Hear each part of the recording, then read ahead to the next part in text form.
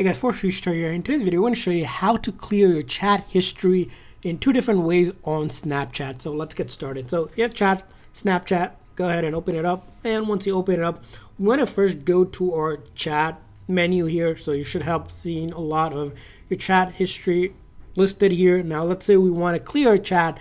Uh, we can simply press long press and hold and it'll open up this menu for us and you'll see there's a chat setting so we can click on chat setting and we can do two things. We can clear that chat feed history so it's gone from our chat feed or we can delete the conversation as well by deleting uh, chats here. So you have two different options to do this way. Now, if this isn't working, sometimes for some reason, like this one, if I click on it, right, if I click on chat history, it doesn't have those options.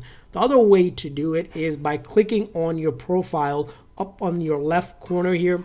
And once you do that, it will take you to this settings page and all you have to do is click on the settings on the top right corner. And once you do that you're going to go down here and go all the way down to where it says clear data from privacy controls. And you click on that.